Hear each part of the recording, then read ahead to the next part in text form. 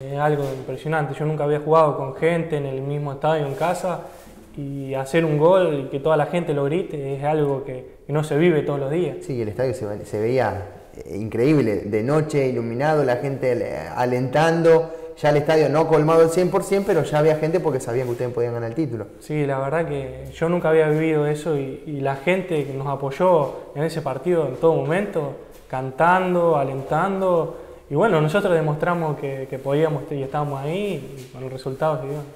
A la cancha, el líder a la cancha Colón, en el cementerio de los elefantes en búsqueda de ese triunfo que le daría el campeonato. Con esos cuatro puntos de ventaja que quería hacer pesar sobre este Independiente, su adversario, su perseguidor.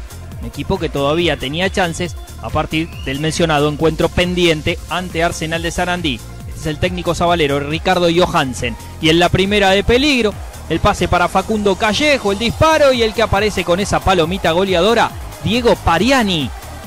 Para darle la ventaja a un Colón que llegaba tras 20 victorias, 7 igualdades y 9 derrotas a este encuentro clave.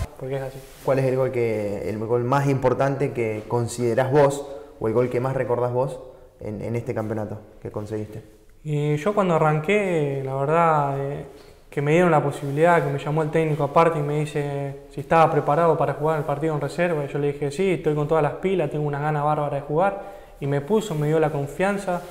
Y, y ese fue un gol importante contra San Juan, que ganamos 2 a 1, hice el primero, que me dio una confianza bárbara para seguir luchándola.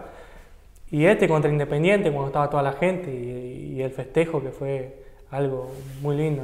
¿Cómo fue ese vestuario después del partido? No, eh, el vestuario, nunca había vivido un vestuario así, estado en un vestuario así, porque las cámaras que se me te metían, y vos decís, antes no nos conocía nadie y ahora que nos alaban todo y demás.